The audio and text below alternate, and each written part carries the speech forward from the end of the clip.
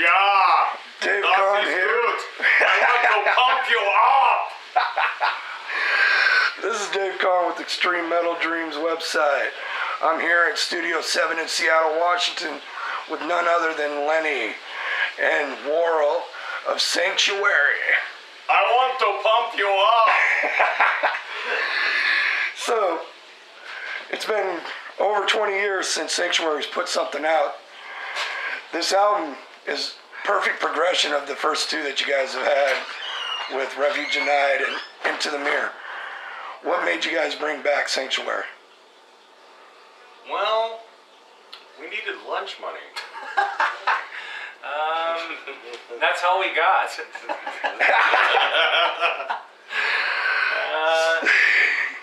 I don't know. You know, it was just kind of a. It was something we always we always talked about. Um, sort of, mo- mo- mostly in, in joking, and um, you know, eventually we, we started hanging out a little bit and, and talking a little bit more, and we uh, we got an offer for one of our songs to be in a video game called Brutal Legend and that kind of started the ball rolling a little bit. Um, we started talking about you know uh, getting together and, um, playing some shows, and then next thing you know, we started uh, squeezing out some songs. So, That's not the only thing we squeezed out. So, what are some of the inspirations on, I mean, for the lyrics on this album? Because some of them are pretty in depth. Well, it's a concept record, kind of loose, loose concept record. Um, I don't know where the inspiration came from. It's probably from watching too many horror movies and playing too many video games. Video games make me do bad things. So, what are some of the video games that you guys like to play? I'm not really a video game guy. That would probably be him. But uh, I mean, I haven't played video games for a while. So, in other words, you're like me. My nephews and all my kids can play the hell out of it. Me, I just, I get bored with them. Yeah, I had one of those like uh, combat ones. It was really cool. It was really fun, but I found that I spent all my time playing the game, and I mean, I, seven hours would disappear, and I was just like, oh god. You know what? Sometimes you just have to go back and you gotta play Super Mario. Do do the Now, that there I can do handle the play. old school shit. Yeah, Old school Nintendo rules. sure. Or Donkey Kong, you know? I mean, they're, they're, they're by today's standards, those games are retarded now, kind of. a I'll little tell you bit, I love watching my kids try to play Pong. Pants on, pants on. Johnny. hey, uh, tomorrow I'm gonna run lights for you guys, and I've got these little uh, lights in the front of the stage that are This is. Johnny Smokes you're hearing in the back. But sometimes they get. You Hey, know, we're trying to do a fucking interview here, Johnny.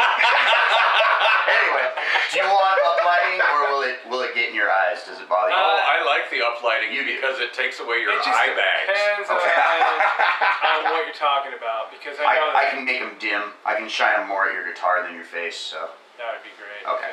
Back to the interview. Thank you, Okay, ladies and gentlemen. See you later. Johnny Smokes. Ladies and Do one gentlemen. with before the night's All over. right. Sexy interview later. Pants off.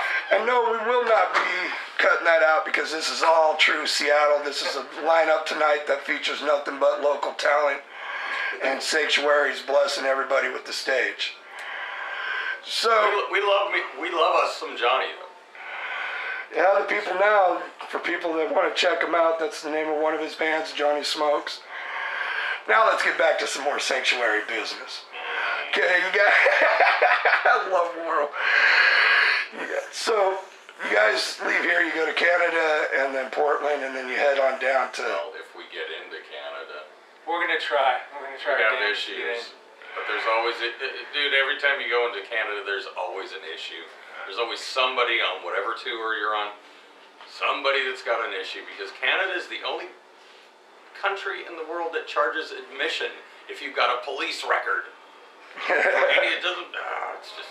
It's, It's frust- frustrating. It is frustrating, but you know, hey, you know, they're they're you know making money, I guess. So. So, But Canadian metal heads are some of the best in the world. They really, Yeah, it should, they it- really are. It'll be a great show if we can get there. Yeah. No, we're gonna we're gonna get there. you're gonna get there. You're It's Sanctuary. just I the believe jump, in it. jumping through the hoops thing that Sure. sucks. We have to do the dance. So, we Got to do a little dance, make a little love. Now, another local uh, rock star that you guys have known for years. Um, I read his interview recently. And he was talking about is it? Geoff Tate. Oh, I And don't you- know him. I've, I've never. never met him? I'm surprised. Oh, I met him once. He was weird. he He uh, didn't spit on me. he actually uh, did a really good interview about the record labels today. And he was talking about how back in the early, mid, and late 80s, bands had to really bust their ass to get signed to a label. And he remembers the days of selling 100,000 albums with no issue around the world. Now labels seem to get excited at 5,000 to 10,000 or so. What is your guys' input on that? Do you really feel the internet has damaged it that much? Of Or course it has. Oh, the absolutely. internet, there's a whole new generation of kids that think music should be free. They don't understand that the people that are creating the music rely on income from being musicians to, to support themselves. And I, I don't know, it's just sad. I know t- te- really technology is the mark of the beast because, you know, it, it's it's fucked the Well, and, and I think eventually it's gonna it's gonna be it's gonna cause great harm. I mean, I, I just don't think you're gonna see very many bands like you're not gonna see that many huge bands anymore. It's it's just gonna start to fade away because there isn't really gonna be. I mean, as far as like massive sellers, you know, as far as it just it's not gonna happen anymore. I mean, for for now, it's like if you can sell a million records, that's that's a huge deal. I mean, if you can sell a hundred thousand, that's a huge deal. see, that's what I what mean, you're not going to see U2s anymore, or the Stones, Zeppelin, that type of magnitude anymore because I just don't. I I, don't mean, know. not even Judas Priest is doing it. Sure. Yeah. Yeah. You know, and I mean, we're talking bands that have been out there longer than any of us that we all grew up listening to. You know,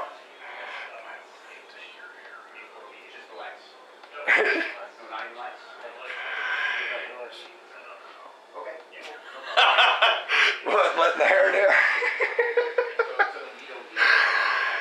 so, We didn't have our makeup artist come in before this. That's why we look like cast members of The Walking Dead right now. that's good shit there. Hell, Scotty, and, speaking of Walking Dead, he just did a part on it. What? Yeah. Wow, cool. They turned him into one of the zombies. Huh. I was just watching the video and interview on it, and it's pretty cool. Cool. Couldn't even tell it was Scott. Wow. That's Oh. probably a good thing. So, what are the things that you guys are goals that you're shooting for with Sanctuary in 2015? World domination. What he said. Well, I know you guys got some other stuff that you want to get done before you got to hit stage. I'm not sure if we, well, we definitely have goals, but, uh, you know, whether they're realistic or not, I'm not sure. We just want to tour as much as we can, make as much music as we can, and hopefully make, you know, the old school fans happy. Yeah, I mean, we, we definitely want to spread the word, get the music out there, play in front of as many people as we can. Um, we'll be doing a West Testify, brother! Yes! we'll be doing a West Coast tour, and we're uh, doing a tour in Europe with Overkill, which we're looking forward to. So, yeah. His favorite band. Really? Oh, Yeah. yeah, no, we're touring with Overkill in, in Europe in March. So, So, what's it like having? I know that you guys previously have had Brad Hull from Forced Entry yeah. go in and out, help fill in with you guys before on Sanctuary. But what's it like to actually have him in the band and? Uh, you know, Train wreck. No, he's, It's an, it's an experience. yeah, he's a character. He's a, he's a definite He's- character, but we love him to death. So there He's added a, a, a really cool element to the whole vibe. You know, the, the the way he plays guitar and everything. It's been, it's um, it's he complements the sound. That's for sure. So.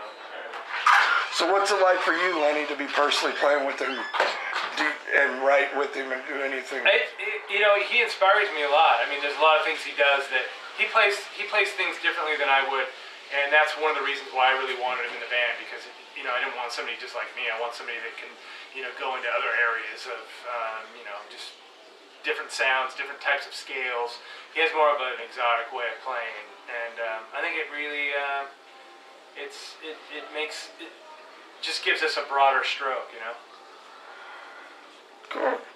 Well, I'm I'm gonna get this interview done and over with so these guys can get ready. Once again, this is Warrel. Just so you know, we Jim? don't look like this on stage. Or real life. No, this, this, actually, This is true makeup right here. No, no, this is real life.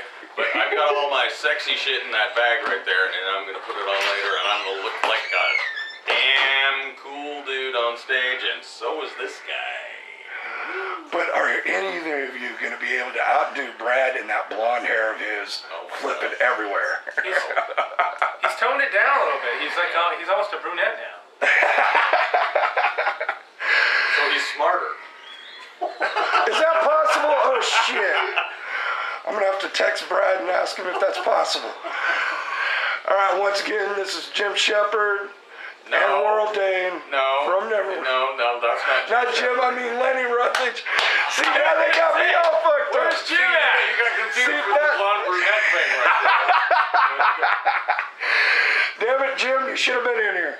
Damn it, Jim. Okay. So, okay, now you're going into the Star Trek mode. I don't know, buddy. Ah, I love it. Never a dull moment with the guys from Sanctuary. Once again, peace out.